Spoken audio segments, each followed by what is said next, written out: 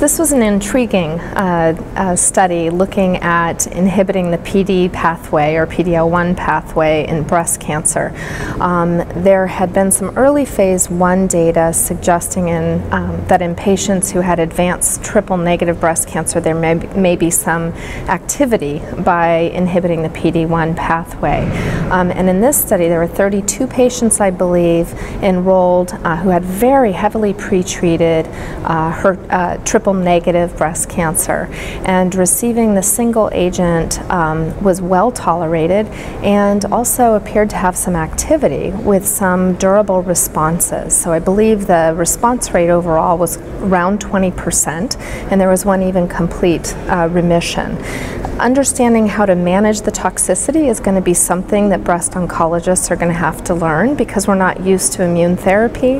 Um, and there were some immune related uh, events that were uh, concerning um, aseptic meningitis, DIC, reported in this study. Um, however, overall, it appeared to be a very well tolerated therapy, and I think these data are exciting.